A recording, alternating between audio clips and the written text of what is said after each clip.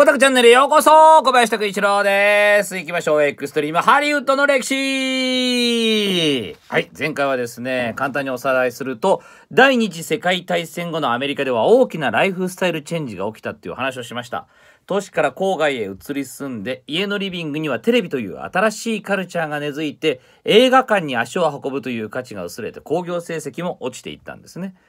なんとかお客さんに足を運んでもらいたいと。映画館側もあの手この手を尽くしていくんですがこの時登場したのがワイドスクリーンというもの。今まで以上にスクリーンが横に広くて家のテレビでは味わえない大迫力の興奮っていうのを提供したわけです。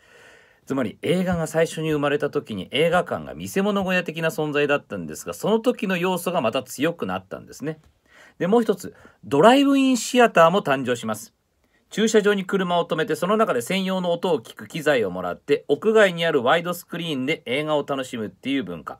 くしくもでもこのこのコロナ禍の中でドライブインシアターのライブだったりとかスポーツ観戦っていうのがまたね復活してきているっていうのがあるんですけれども。なので当時映画を見るっていうよりも何でしょうねデートとして映画をチョイスしてえー、彼氏彼女と車の中でちょめちょめしながらなんとなく上映されてるものを楽しむっていう文化にちょっと変わっていくと。でこの時に生まれたのが極物と呼ばれる B 級映画の数々。ちょっと性の描写暴力描写限界ギリギリのところまで描写したものっていうのがたくさん生まれてきたわけですけれどもただ単にねでも B 級映画と侮る流れこの時代にキワッキワまで攻めた映画があったからこそその後売れ筋のこのメインストリームだけじゃなくてちょっと作家性の高い芸術作品としての映画っていうのもたくさん生まれてそこから名作っていうのもたくさん生まれたよという映画の幅が広がった時代ジャンルの幅が広がった時代でもあります。そして時代はいよいよ60年代へ。国外ではベトナム戦争が勃発しそして国内では公民権運動人種差別撤廃運動が盛んになっていきます。これもくしくも今の時代にとってもリンクしますね。時代というものを常に映画というものは反映します。この時代の映画というのは自由を求めてあらゆるものから解放するされるっていうものがテーマとなる作品が多く生まれるわけです。例えば人種解放性の解放女性解放反戦運動。今まで自分たちを縛り付けていたっていう古い慣習への大きな反発っていうのが原動力となって生まれた映画たちが60年代を代表する60年代後半を代表するアメリカンニューシネマと呼ばれるジャンルです。このアメリカンニューシネマというジャンルがどういうものか。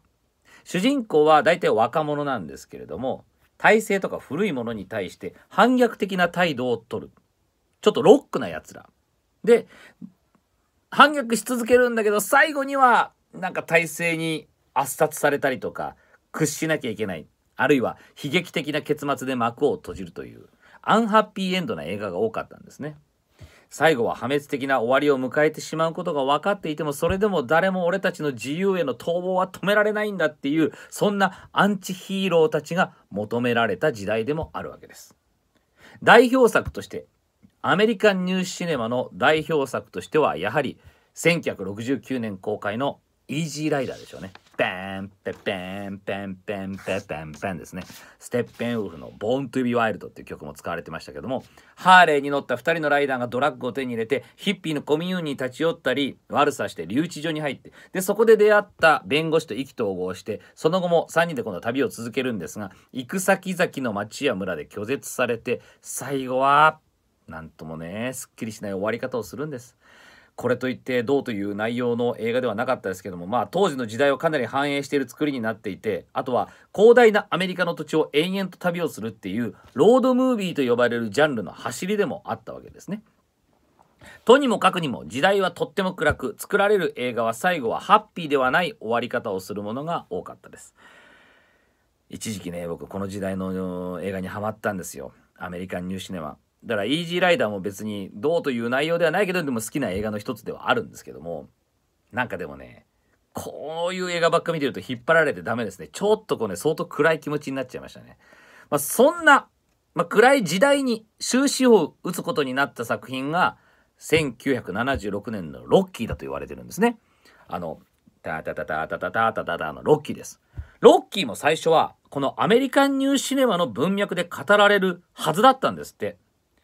ロッキーの負けにかけていたディーラーがいてでそのディーラーと裏でロッキーは手を組んでいてわざと負けてそいつからお金を受け取るみたいなエンディングが用意されていたそうなんですけどもロッキーを演じることになったシルベスタ・スタローンの奥さんが「私そんなロッキー見たくない嫌よ」って言ってあのエンディングに生まれ変わった。そうもうアンチヒーローの時代に終止符を打って正統派ヒーローっていうのが求められるようになったわけです。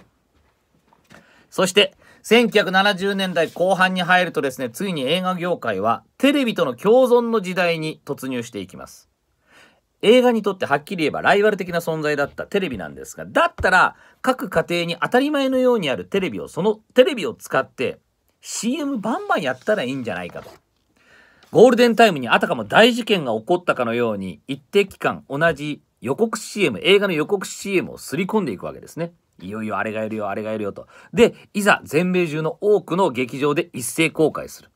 全米が泣いたみたいな展開をしていくようになるわけです。で今度はそのヒットした映画っていうものをテレビで数年後に再放送というか放映をしてテレビや視聴率を取ってスポンサーさんに喜んでもらいそして映画はまたまたヒットとなってグッズが売れたりして次回作へとつながっていくという流れが生まれるわけです。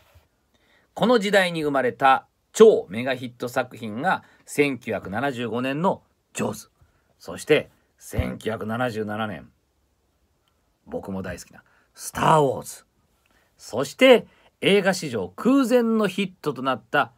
1982年「E.T.」こちらへとつながっていくわけです。